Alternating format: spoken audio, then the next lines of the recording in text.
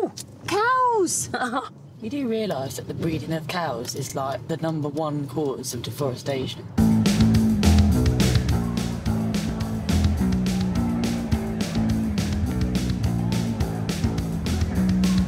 I don't like the spelling of your name.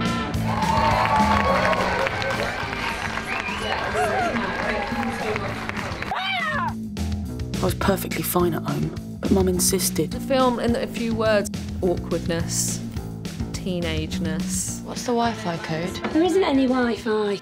Hars cringing because I relate so much, it's so relatable. Isn't it the only thing you ever want is to be understood? sort of captured that sort of excitement of youth and British holiday, the young world and discovering yourself and being confused and messing up. It was, it was really, really stunning.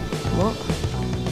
Oh, yeah, seems nice. She'll help you out. Oh, yeah. We so rarely get films about like the queer experience that are just so joyful. There's so many sort of coming of age stories that are American, but it's something that felt really British. It made me want to go to a holiday park, to be honest. Oh, decided to make an appearance then. Wow. Really hedge trimmed the crap out of that, didn't you?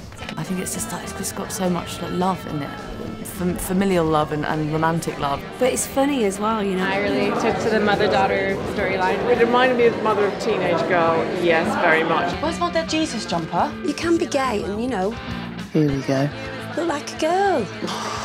Why can't I just do what I want to do? Because it changes every five minutes. That's why. It's Full of heart and artistry and characters that just, they're not cliches, they're, they're like actual people that you can see yourself in. And I think Marley's incredible. I think the writing is incredible, very natural. Loved it. I thought it's just it's a beautiful, beautiful, important piece of work. Touching story um, that resonated a lot with my working class roots. Sweetheart is cool, nostalgic, sweet, and steamy. I like you a lot. Sometimes I have no idea who I am. The thing about being on holiday, you get to be whoever you want to be.